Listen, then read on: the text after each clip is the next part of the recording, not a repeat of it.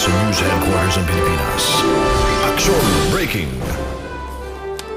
Magandang umaga, narito na mga balita sa oras na ito.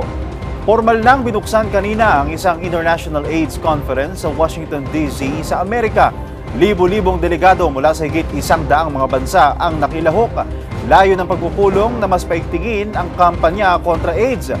Para sa latest, makibalita tayo ngayon live mula Washington kay Jovi Francisco. Jovi, kamusta ka dyan?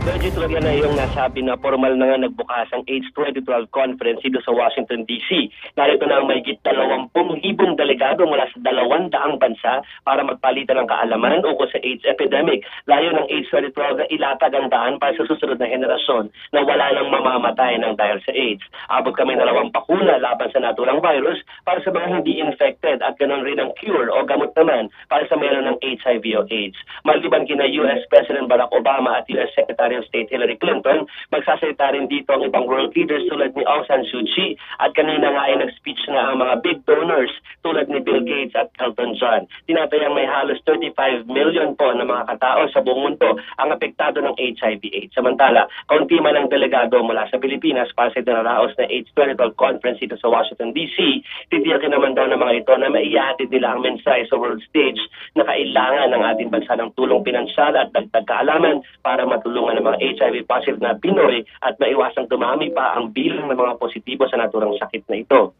Nababahala daw kasi ang mga health groups mula sa ating bayan sa nalalapit na pagtatapos sa Nobyembre ng pagbibigay ng pondo sa atin ng international donors tulad ng Global Fund.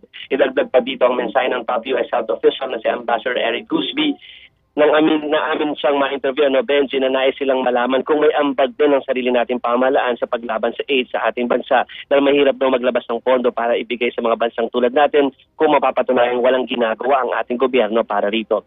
Shared responsibility din ang laman ng mensahe ni US Secretary of State Hillary Clinton sa kanyang speech dito kanina. Sa latest figures ng DOH lumalabas na 10 Pinoy kada araw ang nakakakuha ng HIV virus sa taong ito kumpara sa pito lamang kada araw noong isang taon. Ang Pilipinas din Benji ay isa sa pitong ibang bansa sa buong mundo na nagtalaga o nagtala ng 25% infection rate nitong nagdaang taon. Nagulat mula sa Washington DC, Joey Francisco, News 5. Maraming salamat, Jovi Francisco. Nagulat mula sa Washington DC.